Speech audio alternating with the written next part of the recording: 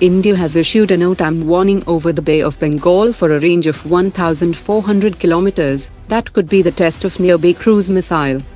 A C-130J transport aircraft of the Indian Air Force encountered an unserviceability during a routine sortie, and the crew carried out actions as per the stated procedures, and safely landed the aircraft.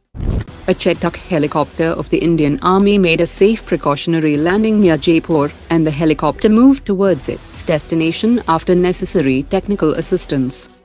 The Ministry of Defence has signed a contract with an Indian manufacturer to upgrade the simulator for the Su-30 aircraft that will now incorporate all indigenous weapons and capabilities and will provide enhanced and realistic pilot training. The Indian Navy will formally commission MH-60 helicopters at Kochi into its fleet next week. Carborundum Universal Limited has entered a strategic collaboration with the DRDO for the supply of fine powders used in ceramic thermal spray coatings for manufacturing and maintenance of aircraft engines and components. The navies of India and Malaysia have started third edition of joint naval exercise to enhance interoperability between the two navies.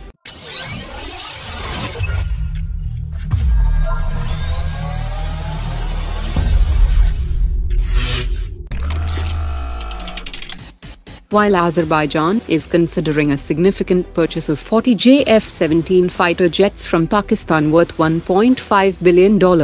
The Armenian Air Force is exploring options to integrate Astra Mark 1 missiles and BrahMos air-launched variant into its Su-30 fighter jets. However, Armenia operates only four Su-30 and 16 Su-25 aircraft and it might need to consider acquiring additional lower-cost options to counter Azerbaijan's JF-17 acquisition.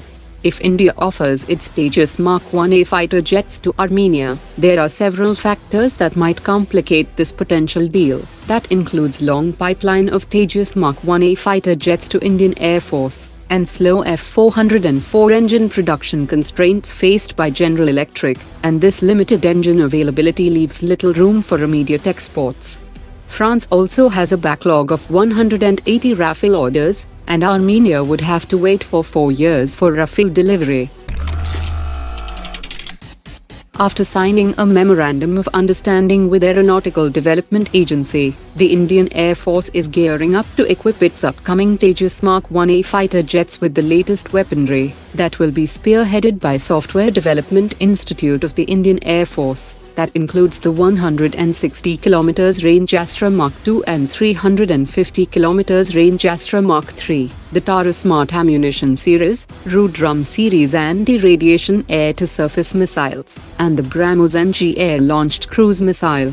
Software Development Institute will also be responsible to carry out integration of these weapons on the upcoming Tejas Mark II aircraft. The Indian Air Force Chief has confirmed that the medium transport aircraft procurement will phase out both the AN-32 and IL-76 transport aircraft, and the aircraft should have a cargo carrying capacity ranging between 25 and 40 tons. The 26-ton payload capacity Embraer C390 and 37-ton payload capacity Airbus A400M falls within this range, but the 20-ton payload capacity Lockheed C130J falls below the desired range. Alongside the payload capacity, the Air Force will also prioritize factors like operational range, fuel efficiency, and overall life cycle costs when making the final selection today's top 3 comments.